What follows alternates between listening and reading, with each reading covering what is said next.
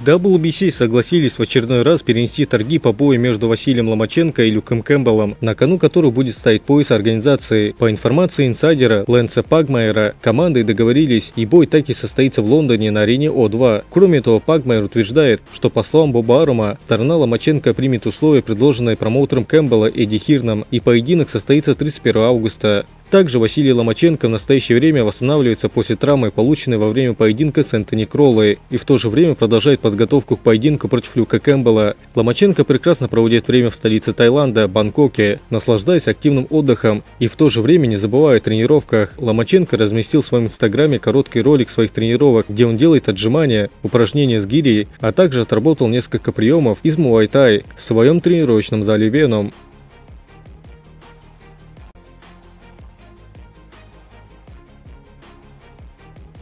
По сообщениям портала boxing247.com, Сауль Альварес собирается выйти на ринг 14 сентября, вне зависимости от итогов переговоров с Геннадием Головкиным. Сауль Альварес сказал, что выйдет на ринг 14 сентября с Головкиным или без него в качестве оппонента. Канело хочет, чтобы третий их поединок, который должен будет ответить на все вопросы по поводу сильнейшего в их противостоянии, также прошел в Лас-Вегасе. Переговоры между бойцами пока взяли перерыв, но Голден Бой намерен вернуться к ним позже, сообщает портал. Также журналист Джеймс Слейтер считает, что Сауль Альварес поступает крайне некрасиво по отношению к фанатам, выдвигая ультиматум Геннадию Головкину по поводу проведения боя в Лас-Вегасе. Здесь дело уже не в деньгах, и Головкину и Канело Дазон и так хорошо заплатил. Речь идет о справедливости. Головкин не чувствует, что с ним справедливо обращались в боях с Канело в Лас-Вегасе. Большинство фанатов считают, что Трипл G выиграл первый бой, а также был ближе к победе во втором, пока Канело и Делахоя твердо стоят на своем. Но будет очень стыдно, если Головкин ограбит их в третий раз. Конечно, компромисс может быть достигнут. Головкин хочет драться в Нью-Йорке.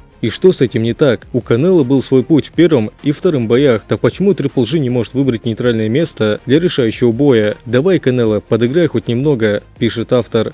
Также твиттер сайта fightnight.com прокомментировал выбор возможного места проведения третьего боя Головкин-Канело. Справедливости ради единственное место в США, где Головкин может выиграть решением судей у Канело, это Нью-Йорк, хотя даже это под вопросом. Вегас настолько облажался, что по крайней мере есть небольшой шанс, что Головкину отдадут третий бой, чтобы он сделал 1-1-1, гарантируя тем самым четвертый поединок.